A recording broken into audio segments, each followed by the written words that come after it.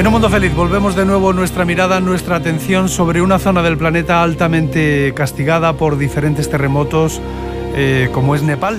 Eh, tenemos un testimonio de primera mano con Kiara Sacardi. Bienvenida, Kiara, ¿cómo estás? Gracias, muy bien, gracias. Eh, ella es coordinadora, eres coordinadora del equipo de emergencia de la ONG Acción contra el Hambre y has estado durante un mes prácticamente en Nepal y acabas de llegar. Sí. Se da la circunstancia de que Nepal es uno de los países eh, más pobres del mundo. Efectivamente, como dice, eh, había problemas muy estructurales desde antes. Acción contra el Hambre estuvo trabajando ahí desde hace unos cuantos años, sobre todo focalizando en temas de desnutrición y justamente porque las tasas de malnutrición de los niños, sobre todo, son muy preocupantes. Las organizaciones humanitarias lo que destacáis ahora es que estáis trabajando contra reloj porque a toda esta desgracia se une la llegada de la época de las lluvias, los monzones.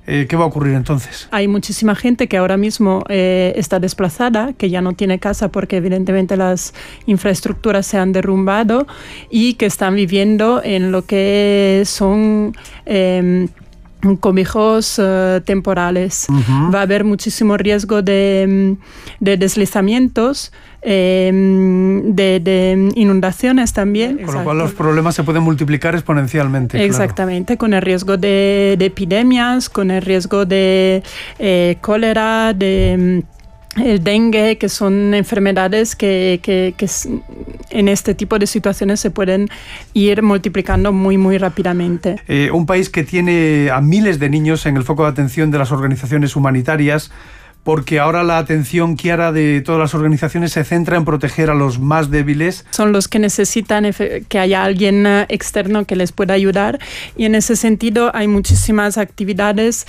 que focalizan en la nutrición. ¿Y la ayuda internacional? ¿Cómo ves tú la situación? Al día de hoy, eh, frente al llamamiento internacional que se hizo para poder responder a la, a la temporada de emergencia, que son de aquí, bueno, de, de, del desastre hasta septiembre, eh, de momento se ha llegado a cubrir el 24%, uh -huh. lo cual es poquísimo comparado con las necesidades que estamos hablando de necesidades básicas. ¿Habéis calculado la cantidad de dinero que hace falta para poder tener, asegurar un mínimo de condiciones de vida para la mayor parte de la población de Nepal? Sí, eh, estamos hablando de eh, justamente 423 millones de dólares.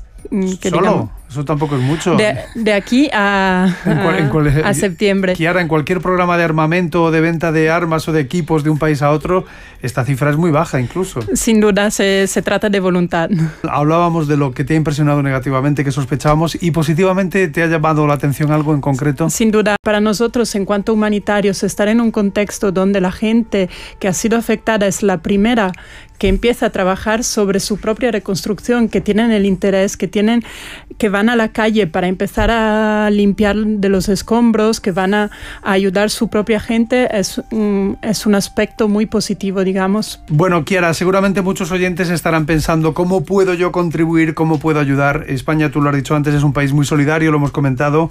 Eh, desde Acción contra el Hambre se les puede ¿qué, qué tipo de campañas cómo pueden ayudar con un mensaje a través del móvil gracias para darnos la ocasión. Evidentemente tenemos una página web que es www.accioncontraelhambre.org donde hay muchísima información sobre lo que estamos haciendo en Nepal. Hay también un número de teléfono al cual se puede llamar que es el 900 100 822 y donde la gente puede efectivamente aportar. Teléfono gratuito no, de Acción contra el Hambre 900-100-822 900-100-822 y ahí se pueden informar y aportar. Bueno, que vaya muy bien y gracias por venir a la radio. Muchas gracias. gracias.